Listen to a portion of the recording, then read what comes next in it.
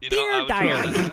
You see, Today I went over to the circus and I impressed a gaggle of kids with my balloon tricks. It was the Yeah. greatest day ever. Love always, Brandon. A gaggle. Dude, and then and then you and then you skin the balloons for their fur. I'm a man now.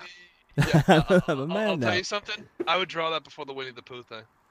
Oh Draw what? yes, Wait, Brandon draw making what? balloon animals. I don't don't put clown shoes on me. Yes, Ju- ju- ju- ju- Just this balloon zoo.